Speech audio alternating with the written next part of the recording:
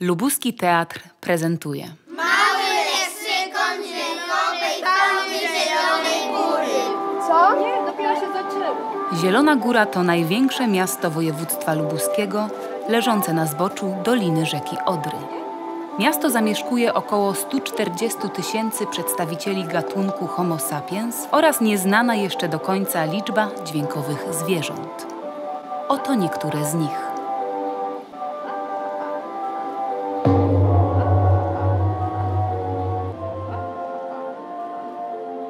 Pierdzący potwór Grzegorz. Pierdzący potwór Grzegorz zamieszkuje niskie i średnie rejony zielonogórskiego deptaka. Jego bąki są falami, dzięki którym widzi. Dodatkowo puszkuje swoje pierdnięcia i próbuje sprzedawać je jako perfumy, ponieważ pachną lawendą. Ma dwie pupy. Potwór Grzegorz żywi się energią z baterii, dlatego kiedy go mijamy, od razu rozładowują się nam telefony.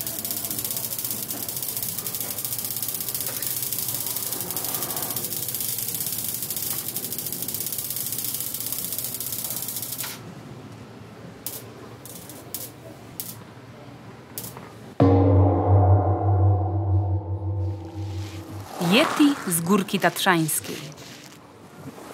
Na Górce Tatrzańskiej mieszka Yeti, który bardzo lubi ludzi, ale ludzie się go boją.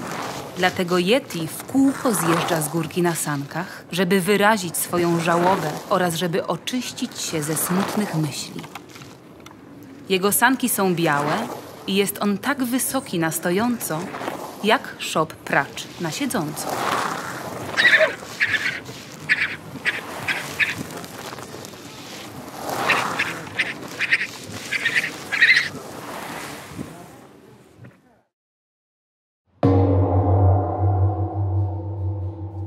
Deszczowe motyle. Deszczowe motyle są przeważnie wielkości całego miasta, a przynajmniej połowy. Mieszkają na czubkach chmur i żywią się energią kosmiczną. Gdy osiągną dojrzałość płciową, opadają na miasto. Można je pomylić ze zwykłym deszczem. Posłuchajcie, oto zwykły deszcz.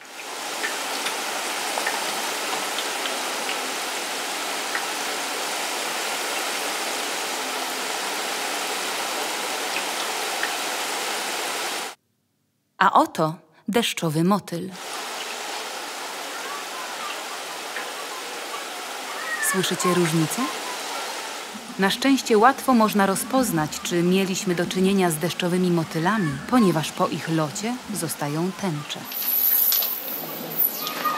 Deszczowych motyli jest zawsze siedem i każdy wydala inny kolor tęczy. Teraz już wiecie, że gdy nad miastem świeci tęcza, to znak, że deszczowe motyle urwały się z chmur. Na końcu tęczy znajdują się złote jaja, z których wyklują się kolejne deszczowe motyle.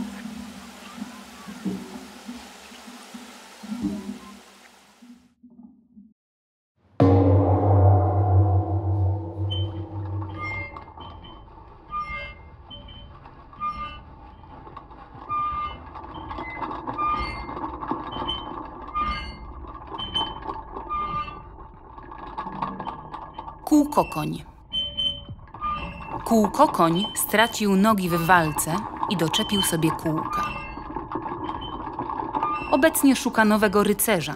Żywi się wszystkim, co okrągłe i jest spokrewniony z koniem na biegunach. Rzucił picie oleju i teraz kółka mu skrzypią. Jest jak kameleon i wtapia się w otoczenie. Pośrednio można go dostrzec, gdy jakiś przechodzień potyka się na prostej drodze.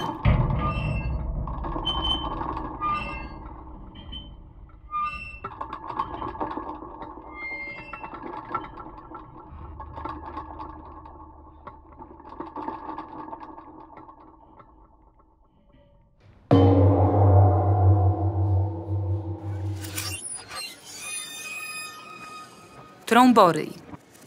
Trąboryj to uliczny poeta mieszkający w starym obuwiu. W lecie mieszka w bucie sportowym, a jesienią i zimą w porzuconym kaloszu. Jest kuzynem pierdzącego potwora Grzegorza.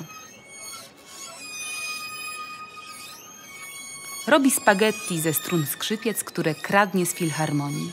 Jest stary jak świat.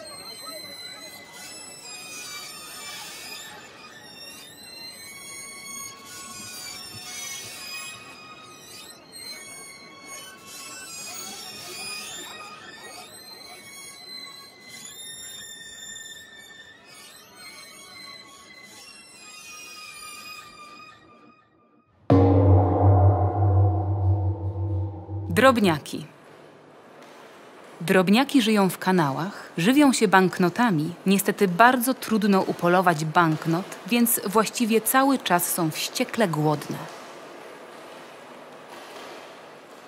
Najstarsze drobniaki są ze średniowiecza, a ich głód można wycenić na milion trylionów i sto tysiąc dwanaście.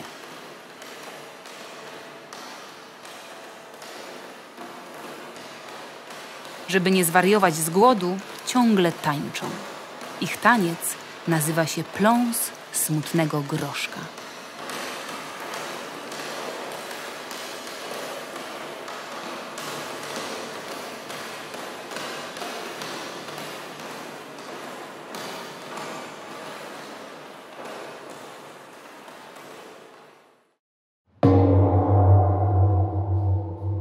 Motrakson. Oto Motrakson.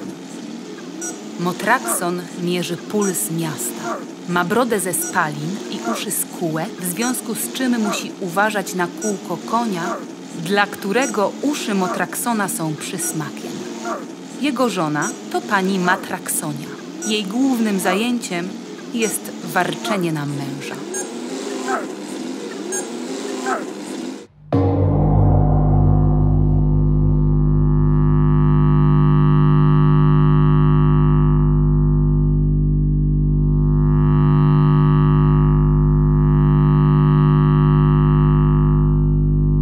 Powietrzna ryba miejska.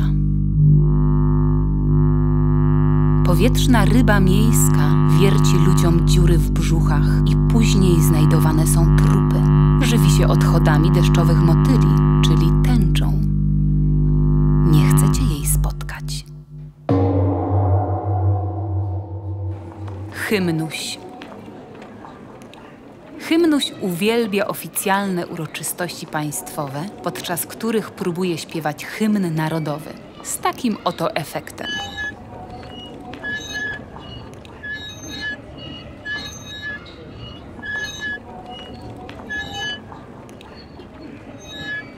Hymnusie żywią się łopotem flagi.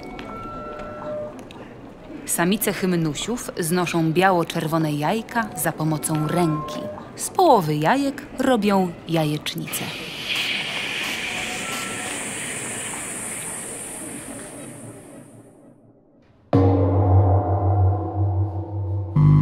Wciągacz koszmarów. Wciąga koszmary dzieci do lat pięciu. Jego buzia wygląda jak odkurzacz. Wciąga koszmary i zmienia je w dobre sny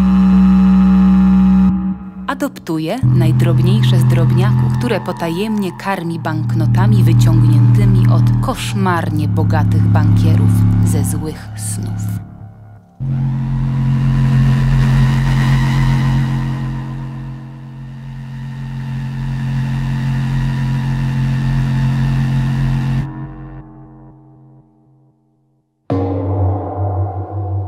Olbrzym ziemowit.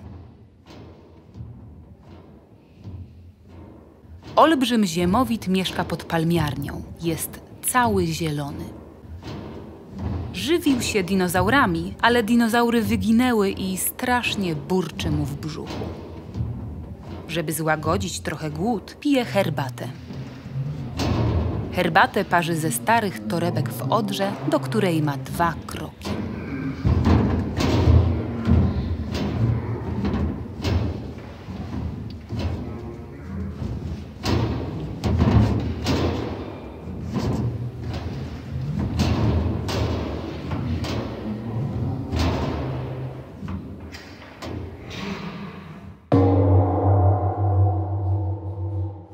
Zielonogórski pochwalacz miejski.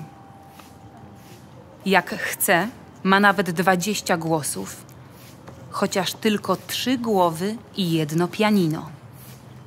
Idealnie naśladuje różne głosy, na przykład ptaki w parku, terkoczące kółka, biegające dzieciaki, a nawet głosy seniorów z domu dziennego pobytu retro. Posłuchajcie. Ja stąd nigdzie nie wyjadę, bardzo kocham miasto swe. Tu farmiarnia Bachus wita i przyjaciół ma się też. Filharmonia i fontanna, co urzeka wszystkich nas. Dużo słońca i zieleni, amfiteatr też jest nasz. Życie tu piękne jest, tutaj warto żyć. Pokażemy, że w przyszłości może lepiej być.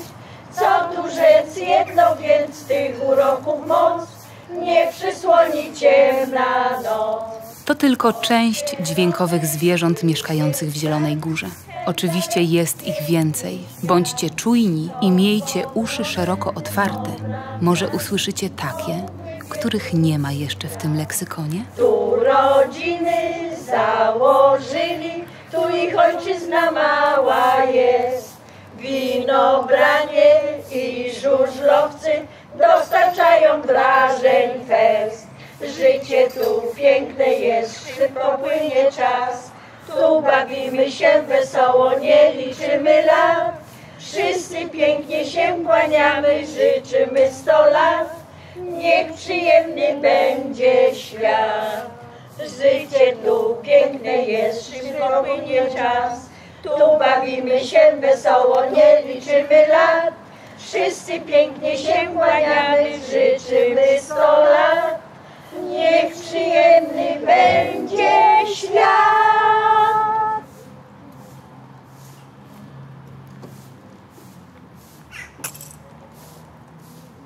W poszukiwaniach dźwiękowych zwierząt udział wzięli Aniela Anna Zasada. Tytus Sienicki, Pola Ostapko, Sandra Głuszcz, Klaudia Kłos, Karolina Kowaluk. Krzysztof Kowaruk. Alex Etu. Benjamin Emoszokaka Etu. Lidia Ostapko. Maja Łagoda. Emila Adamiszyn. Hubert Winczuk. Kuba Kapral. czytała Joanna Wąż.